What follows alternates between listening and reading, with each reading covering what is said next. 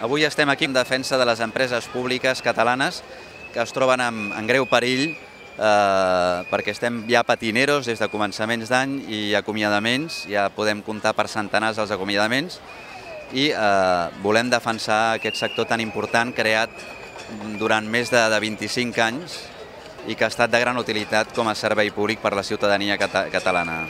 Estem parlant de, de més de 80 empreses i de, de vora de 18.000 treballadors. Són empreses públiques que depenen directament dels 12 departaments de la Generalitat i nosaltres eh, el full de ruta que ha marcat el govern és d'un acomiadament que rondarà els 1.500 treballadors.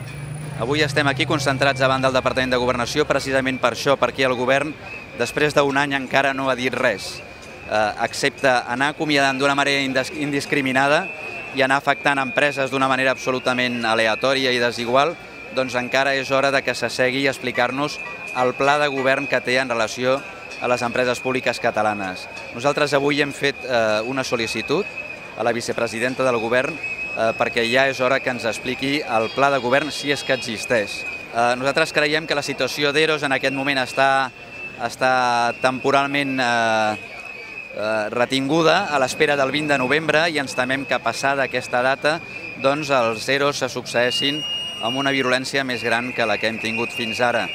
Estem jugant amb serveis públics de tota la ciutadania. El ciutadà això ho percebrà amb què aquell servei públic que rebia gratuïtament el deixarà de rebre o el rebrà d'una manera molt deteriorada i molt, molt dolenta. Parlem d'un ventall de serveis públics que van des de l'abastiment d'aigua a la ciutadania com la promoció d'habitatge públic. Estem parlant d'això.